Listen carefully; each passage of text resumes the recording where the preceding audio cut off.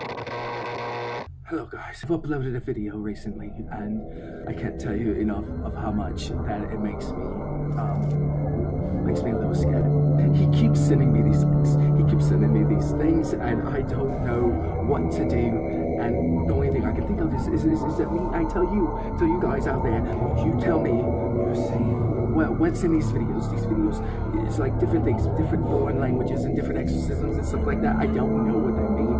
I'm just gonna share these videos with you, and you tell me, you tell me what what you think is, is going on. So, um, just chase, and tell me, just comment below. Please tell me something.